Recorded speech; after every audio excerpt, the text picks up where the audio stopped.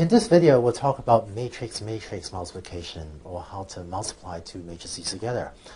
When we talk about the method in linear regression for how to solve for the parameters theta 0 and theta 1 all in one shot, so without needing an iterative algorithm like gradient descent. When we talk about that algorithm, it turns out that matrix-matrix multiplication is one of the key steps that you need to know.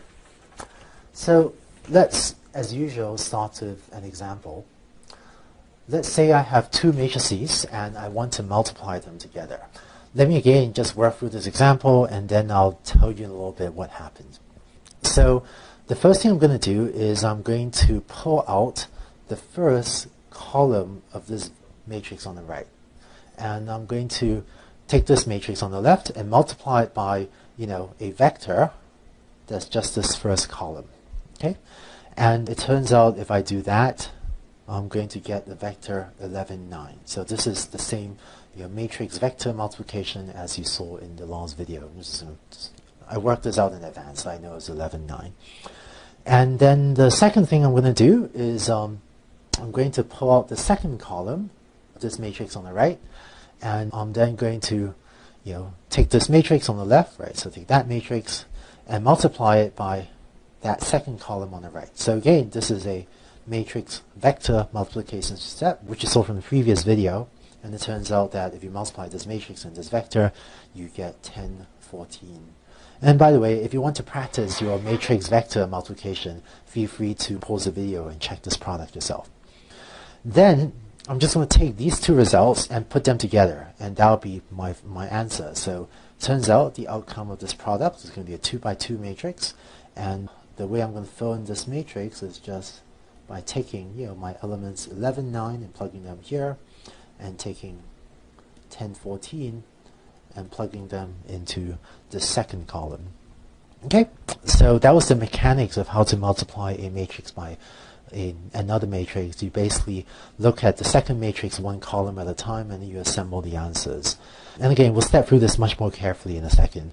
But uh, just want to point out also, this first example is a 2 by 3 matrix uh, multiplying that by a 3 by 2 matrix, and the outcome of this product, it turns out to be a 2 by 2 matrix. And again, we'll see in a second why this was the case. All right, that was the mechanics of the calculation. Uh, let's, let's actually look at the details and look at what exactly happened. Here are the details. I have a matrix A, and want to, I want to multiply that with a matrix B, and the result will be some new matrix C. And um, it turns out you can only multiply together matrices whose dimensions match. So A is an m by n matrix, so m rows, n columns.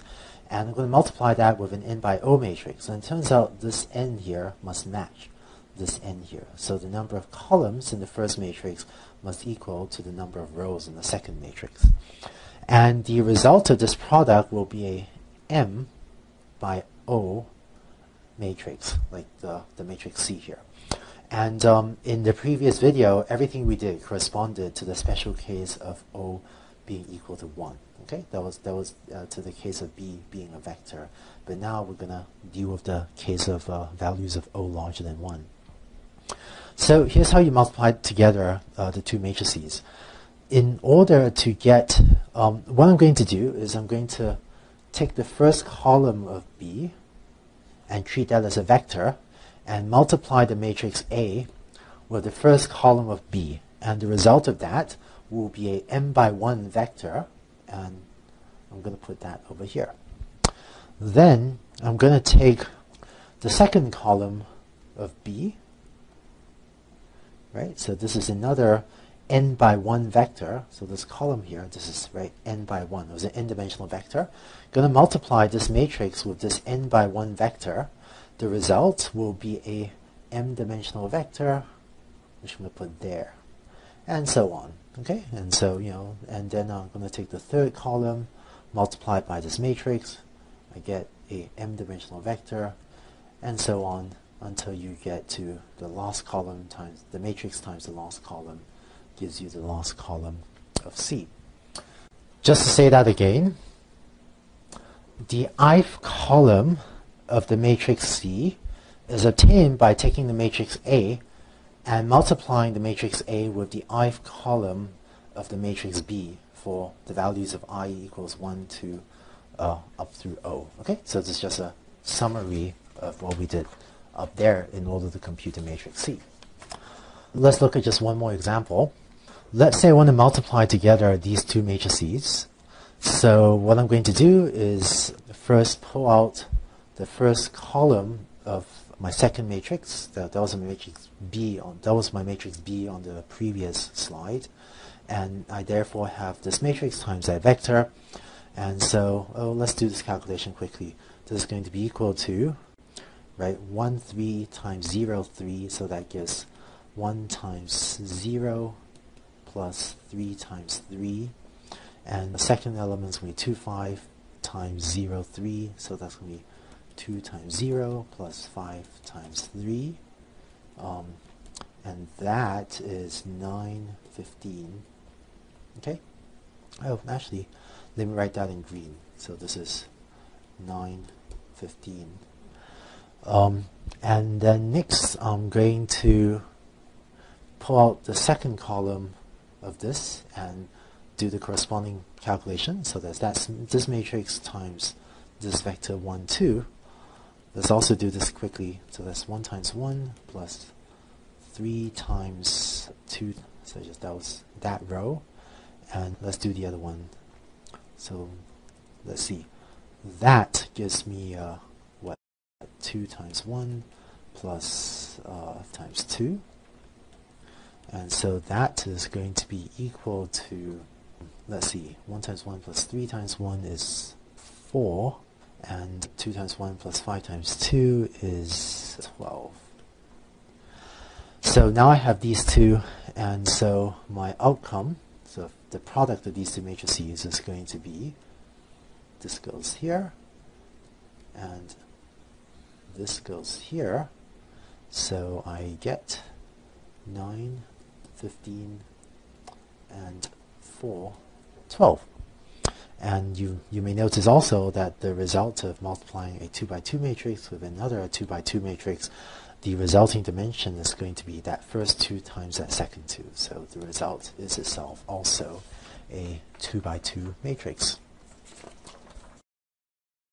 Finally, let me show you one more neat trick that you can do with matrix-matrix multiplication. Let's say as before that we have uh, four houses whose prices we want to predict. Only now we have three competing hypotheses shown here on the right. So if you want to apply all three competing hypotheses to all four of your houses, it turns out you can do that very efficiently using a matrix-matrix multiplication. So here on the left is my usual matrix, same as from the last video where you know these values are my housing prices and I've put ones here on the left as well. And what I'm going to do is construct another matrix where here, these, the first column is this minus 40 and 0.25, and the second column is this 200, 0.1, and so on. Okay? And it turns out that if you multiply these two matrices, what you find is that this first column, you know, oh, let me draw that in blue. Well, how do you get this first column, right? Our procedure for matrix-matrix multiplication is the way you get this first column is you take this matrix and you multiply it by this first column. And we saw in the previous video that this is exactly the predicted housing prices of the first hypothesis, right, of, of this first hypothesis here. And uh, how about the second column? Well, how do you set the second column? The way you get the second column is, well, you take this matrix and you multiply it by this second column. And so the second column turns out to be the predictions of the second hypothesis, of the second hypothesis up there. And similarly for the third column. And so I didn't step through all the details, but hopefully you just feel free to you know pause the video and check the math yourself and, and check that what I just claimed really is true. But it turns out that by constructing these two matrices, what you can therefore do is very quickly apply all three hypotheses to all four house sizes to get you know all 12 predicted prices output by your three hypotheses on your four houses. So with just one matrix multiplication step, you manage to make 12 predictions. And even better, it turns out that in order to do that matrix multiplication, there are lots of good linear algebra libraries in order to do this uh, multiplication step for you. And no matter, so pretty much any reasonable programming language that you might be using, you know, certainly all the top 10 most popular programming languages will have great linear algebra libraries.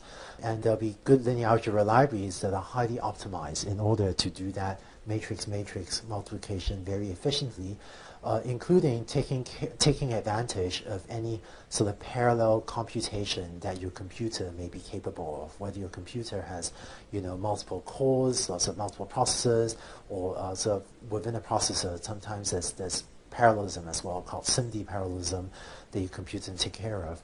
And uh, you should be able to, and there are very good free libraries that you can use to do this matrix-matrix multiplication very efficiently so that uh, you can very efficiently you know, make lots of predictions of lots of hypotheses.